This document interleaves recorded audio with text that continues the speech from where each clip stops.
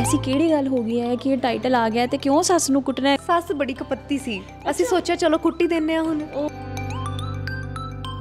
Personal life ਦੀ ਜੇ ਗੱਲ ਕਰੀਏ ਇਹ ਐਕਸਪੀਰੀਅੰਸ ਤਜਰਬੇ ਜਿਹੜੇ ਇਕੱਠੇ ਕੀਤੇ ਹੈ ਫਿਲਮ ਦੀ ਸ਼ੂਟਿੰਗ ਦੇ ਦੌਰਾਨ ਇਹ ਕਿੰਨੇ ਕੁ ਉੱਥੇ ਇੰਪਲੀਮੈਂਟ ਹੋਣ ਵਾਲੇ ਹੈ ਜਾਂ ਹੈਲਪ ਕਰਨਗੇ ਜਾਂ ਕਿ ਕੁੜੀ ਕਿਚਨ 'ਚ ਜਸਟ ਇਹ ਦੇਖਣ ਜਾਂਦੀ ਸੀ ਕਿ ਅੱਜ ਖਾਣ ਨੂੰ ਕੀ ਬਣਿਆ ਉਹ ਅੱਜ ਸਾਰਾ ਕੁਝ ਆਪ ਹੀ ਕਰ ਲੈਂਦੀ ਹੈ। ਸੋ ਮੈਨੂੰ ਇਸ ਚੀਜ਼ ਦੀ ਬਹੁਤ ਖੁਸ਼ੀ ਹੈ। ਬੱਚਿਆਂ ਦੀ ਆਪਣੀ ਜਿਹੜੀਆਂ ਚੀਜ਼ਾਂ ਨੇ ਜਿਹੜੀਆਂ ਸਾਡੇ ਪੰਜਾਬੀਅਤ ਪੰਜਾਬ ਦੇ ਵਿੱਚ ਆਮ ਘਰਾਂ ਦੀ ਗੱਲ ਹੁੰਦੀ ਹੈ ਸੋ ਉਦਾਂ ਦੀ ਮੈਂ ਫਿਲਮ ਕਰਾਂ ਇਹ ਫਿਲਮ ਡਿੱਟੋ ਉਹੀ ਚੀਜ਼ ਹੈ। ਸਤਿ ਸ਼੍ਰੀ ਅਕਾਲ ਦੋਸਤੋ ਮੈਂ ਗਾਇਨ ਤੇ ਤੁਹਾਡਾ ਸਾਰਿਆਂ ਦਾ ਸਵਾਗਤ ਹੈਗਾ ਦੇਸੀ ਚੈਨਲ ਤੇ। ਬਈ ਫਿਲਮ ਆ ਰਹੀ ਹੈ 29 ਤਰੀਕ ਨੂੰ ਨੀ ਮੈਂ ਸੱਸ ਕੁੱਟਣੀ ਤੇ ਉਹਦੀ ਸਟਾਰ ਕਾਸਟ ਹੈਗੀ ਹੈ ਮੇਰੇ ਨਾਲ।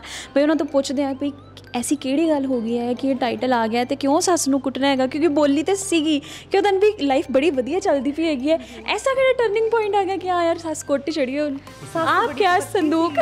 ਸੱਸ ਬੜੀ ਕਪੱਤੀ ਸੀ। ਅਸੀਂ ਸੋਚਿਆ ਚਲੋ ਕੁੱਟੀ ਦਿੰਨੇ ਆ ਹੁਣ। ਓਹੋ ਮੁੰਡੇ ਨੇ ਤਾਂ ਫਿਰ ਉਦਾਸ ਹੋ ਜਾਣਾ। ਹਾਂ ਮੈਂ ਤਾਂ ਉਦਾਸ ਹੀ ਹਾਂ ਮਜਬੂਰ ਵੀ ਹਾਂ ਬੜਾ। ਮੈਂ ਪੋਸਟਰ ਦੇਖ ਕੇ ਵੀ ਸੀ ਮੈਂ ਕਿਹਾ ਪੋਸਟਰ 'ਚ ਵੀ ਇਦਾਂ ਹੀ ਹੈ ਕਿਉਂ ਇੰਨੀ ਮਾਯੂਸੀ ਕਿਉਂ ਕਿ ਵਿਆਹ ਕਰਾ ਕੇ ਆਹ ਵਾਲਾ ਵਿਆਹ ਕਰਾ ਕੇ ਰੀਅਲ ਲਾਈਫ ਵਾਲਾ ਬੰਦਾ ਬੰਦਾ ਸੋਚਦਾ ਨਾ ਕਿ ਯਾਰ ਗਲਤ ਲੱਡੂ ਖਾ ਲਿਆ ਮੈਨੂੰ ਲੱਗਿਆ ਸਿਆਣੀ ਹੋਊਗੀ। ਪਰ ਇਹਨੇ ਹੋਰ ਹੀ ਕੁਝ ਗਲਵਜ਼ ਪਾਲੇ ਤੇ ਹੋਰ ਡਰਾ ਦਿੱਤਾ। ਤੇ ਫਿਲਮ 'ਚ ਵੀ ਇਹਨੇ ਪੂਰੀ ਤਾਨਾਸ਼ਾਹੀ ਦਿਖਾਈ ਹੈ। ਸੋ ਉਹਦੇ ਤੋਂ ਤਾਂ ਫਿਰ ਲੱਗਦੀ ਆ ਮੈਂ ਤਾਂ ਉਹ ਤੋਂ ਤਾਂ ਫਿਰ ਮੈਨੂੰ ਡਰ ਹੀ ਲੱਗਦਾ ਵੀ ਵਿਆਹ ਤੋਂ ਬੰਦਾ ਦੂਰ ਹੀ ਰਵੇ ਤਾਂ ਠੀਕ ਹੈ। ਵਿਆਹ ਕਰਾ ਕੇ ਤਾਂ ਨੀ ਲੱਗਿਆ ਹੈ ਮੈਂ ਆਪਣਾ ਆਪਣਾ ਰਾਜ ਦੂਜੇ ਦੇ ਹੱਥ 'ਚ ਦੇ ਦਿੱਤਾ ਹੈਗਾ ਆਪਣੇ ਕਾਇ ਦਾ। ਨਹੀਂ ਲੱਗਦਾ ਹੈ, ਉਹ ਚਿੜੀ ਵਿਚਾਰੀ ਕੀ ਕਰੇ ਠੰਡਾ ਪਾਣੀ ਪੀ ਵਰੇ ਸੋ ਅਹ, ਮੈਂ ਤਾਂ ਇੱਕ ਤੇ ਹੈ ਇੰਨੀਆਂ ਜਨਾਨੀਆਂ ਦੇ ਵਿੱਚ ਮੈਨੂੰ ਲੱਗਦਾ ਕਿ ਮੁੰਡਾ ਪਿਸ ਜਾਂਦਾ ਹੈਗਾ। ਸੋ ਬਈ ਪਰਸਨਲ ਲਾਈਫ ਦੀ ਜੇ ਗੱਲ ਕਰੀਏ ਇਹ ਐਕਸਪੀਰੀਅੰਸ ਤਜਰਬੇ ਜਿਹੜੇ ਇਕੱਠੇ ਕੀਤੇ ਹੈ ਫਿਲਮ ਦੀ ਸ਼ੂਟਿੰਗ ਦੇ ਦੌਰਾਨ ਇਹ ਕਿੰਨੇ ਕੁ ਉੱਥੇ ਇੰਪਲੀਮੈਂਟ ਹੋਣ ਵਾਲੇ ਹੈ ਜਾਂ ਹੈਲਪ ਕਰਨਗੇ ਜਾਂ ਜਾਂ ਪਹਿਲੇ ਸੋਚ ਲਿਆ ਪਹਿਲਾਂ ਇਹ ਹਥਿਆਰ ਸੁੱਟ ਦਿਓ ਨਹੀਂ ਨਹੀਂ ਹਥਿਆਰ ਨਹੀਂ ਛੱਡਦਾ ਮੈਂ। ਮੈਂ ਬਹੁਤ ਮ- ਮਜ਼ਬੂਤ ਬਣ ਕੇ ਸਟਰੋਂਗ ਬਣ ਕੇ ਇਸ ਜੰਗ ਦੇ ਵਿੱਚ ਆਪਣੀ ਪੈਰ ਰੱਖਾਂਗਾ ਔਰ ਜਿੱਤ ਹਾਸਲ ਕਰੂੰਗਾ। ਜਿਵੇਂ ਮੈਂ ਇਸ ਫਿਲਮ ਦੇ ਵਿੱਚ ਸਕਸੈਸ ਰਿਹਾ ਉਸ ਚੀਜ਼ ਨੂੰ ਬੈਲੈਂਸ ਕਰਨ ਦੇ ਵਿੱਚ।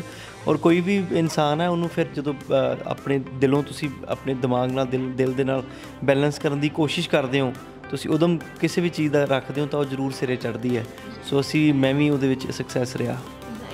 ਤਾਂ ਵੀ ਇਹ ਵੈਸੇ ਤੁਸੀਂ ਬਹੁਤ ਪੋਲਾਈਟ ਸਵੀਟ ਜਿਹੇ ਹੈਗੇ ਹੋ ਹੈ ਨਾ ਬਟ ਇਹ ਕਰੈਕਟਰ ਜਿਹੜਾ ਹੈ ਬਹੁਤ ਤੇਜ਼ ਤਰਾਰ ਸੀਗਾ।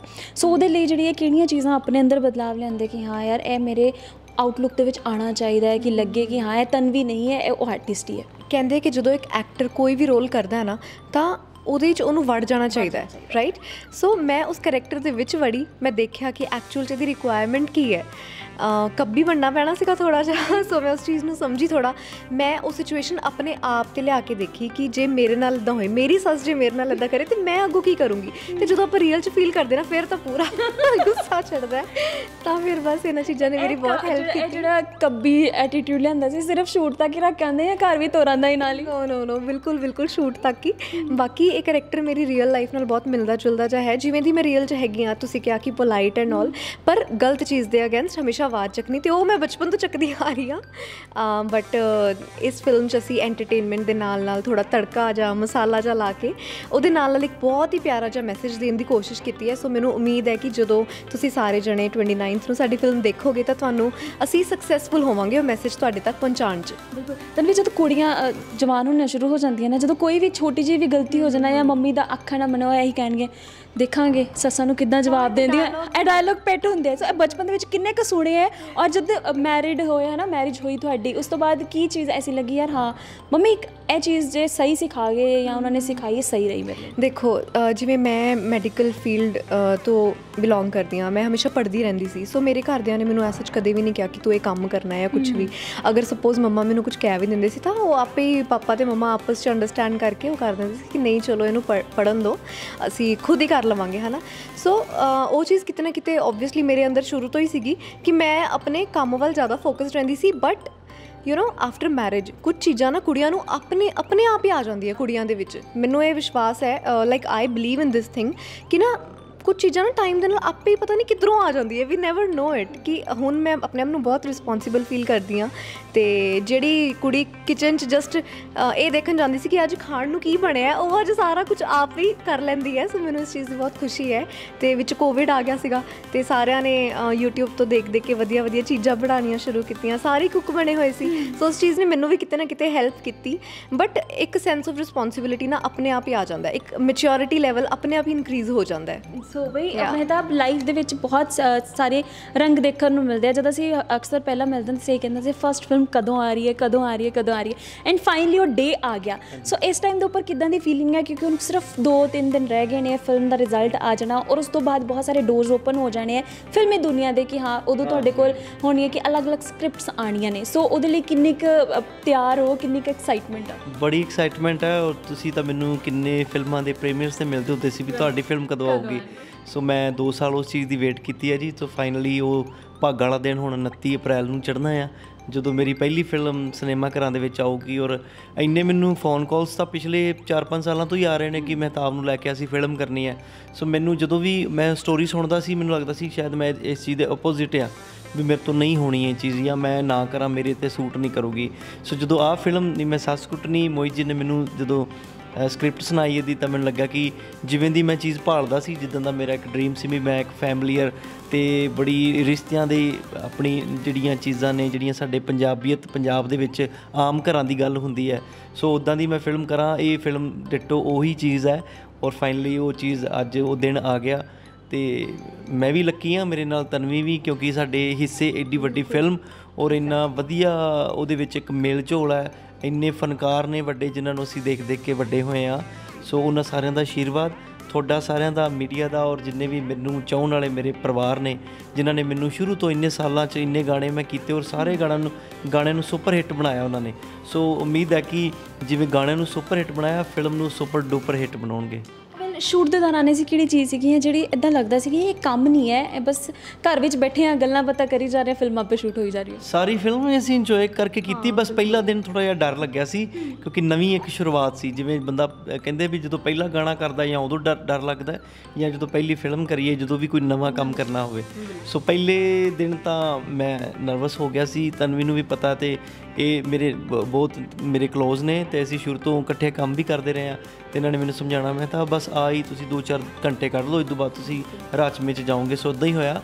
ਸਾਰਿਆਂ ਨੇ ਮੈਨੂੰ ਬੜਾ ਐਪਰੀਸ਼ੀਏਟ ਕੀਤਾ, ਛੋਟੇ ਬੱਚਿਆਂ ਵਾਂਗ ਮੈਨੂੰ ਕੁੱਗੀ ਭਾਜੀ ਨੇ, ਅਨੀਤਾ ਮੈਮ ਮਾਤਾ ਨੇ, ਨਿਰਮਲ ਰਿਸ਼ੀ ਦਾਦੀ ਨੇ ਇੰਨਾ ਪਿਆਰ ਦਿੱਤਾ ਵੀ ਤੂੰ ਤਾਂ ਇੰਨਾ ਵਧੀਆ ਕੰਮ ਕਰੀ ਜਾਂਦਾ ਹੈ ਤੇ ਇੰਨਾ ਸੋਹਣਾ ਤੇਰਾ ਲੱਗ ਹੀ ਨਹੀਂ ਰਿਹਾ ਤੇਰੀ ਪਹਿਲੀ ਫਿਲਮ ਹੈ, ਸੋ ਉਹਦੇ ਨਾਲ ਮੈਨੂੰ ਹੌਸਲਾ ਹੋਰ ਵੱਧ ਗਿਆ। ਤੇ ਬ- ਬਸ ਫਿਰ ਅਸੀਂ ਤੇ ਐਵੇਂ ਸੀ ਜਿਵੇਂ ਨਾਨਕੇ ਮੇਲ ਆਏ ਆ ਕਿਸੇ ਵਿਆਹ ਤੇ ਖਾਣ ਪੀਣ ਨੂੰ ਇੰਨਾ ਕੁਝ ਮਿਲਦਾ ਸੀ ਨਾ। ਅਸੀਂ ਇੰਨਾ ਖਾਦਾ ਸ਼ੂਟਿੰਗ ਦੇ ਵਿੱਚ ਕਦੀ ਜੀ ਕਰਦਾ ਸੀ ਸਰੋਂ ਦਾ ਸਾਗ ਮੱਕੀ ਦੀ ਰੋਟੀਆਂ ਆ ਜਾਂਦੀਆਂ ਸੀ। ਕਦੀ ਪਤਾ ਲੱਗਦਾ ਸੀ 2 ਘੰਟੇ ਬਾਅਦ ਅਸੀਂ ਗੰਨੇ ਚੁੱਪਣ ਜਾ ਰਹੇ ਹਾਂ।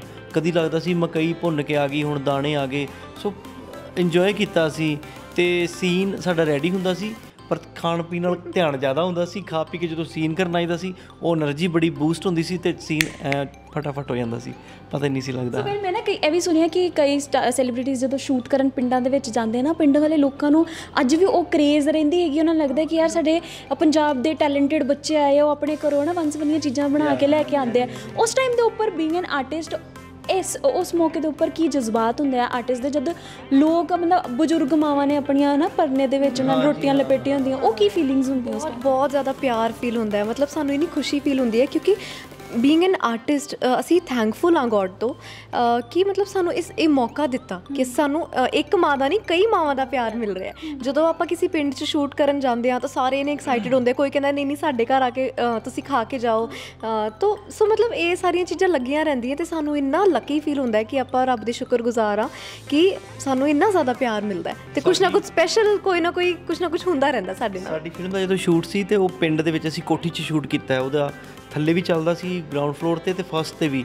ਤਾਂ ਤੁਸੀਂ ਟ੍ਰੇਲਰ 'ਚ ਦੇਖਿਆ ਵੀ ਜਦੋਂ ਦਾਦੀ ਹੋਰ ਉੱਪਰ ਟੈਂਕੀ ਤੇ ਚੜ ਜਾਂਦੀ ਹੈ ਸੋ ਉਹ ਟੈਂਕੀ ਤੋਂ ਜਾਂ ਪਹਿਲੇ ਫਲੋਰ ਤੋਂ ਜਦੋਂ ਤੁਸੀਂ ਦੇਖਦੇ ਹੋ ਨਾ ਸਾਰਾ ਪਿੰਡ ਦਿਖਦਾ। ਅਸੀਂ ਹਰਿਆਣੇ 'ਚ ਸ਼ੂਟ ਜਦੋਂ ਕੀਤਾ ਹੈ ਤੇ ਮੈਨੂੰ ਲੱਗਦਾ ਵੀ ਅੱਧਾ ਪਿੰਡ ਸਾਡੀ ਸ਼ੂਟਿੰਗ ਦੇਖਣ ਆਉਂਦਾ ਸੀ। ਓਕੇ ਐਵੇਂ ਲੱਗਦਾ ਸੀ ਜਿਵੇਂ ਕੋਈ ਜਿਵੇਂ ਆਪਾਂ ਸਰਕਸ ਦੇਖਣ ਜਾਂਦੇ ਆ ਨਾ ਤਾਂ ਸਾਰਾ ਭਰਿਆ ਹੁੰਦਾ ਸਾਰੇ ਪਾਸੇ।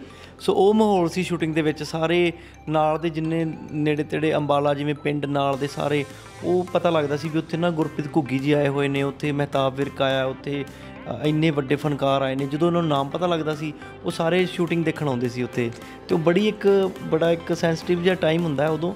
ਔਰ ਮੈਂ ਵੀ ਦੇਖਦਾ ਹੁੰਦਾ ਸੀ ਵੀ ਜਦੋਂ ਅਸੀਂ ਗਾਣਿਆਂ ਦੀ ਸ਼ੂਟਿੰਗ ਕਰਨੀ ਉਦੋਂ ਫੀਲ ਹੋਰ ਹੁੰਦੀ ਹੈ।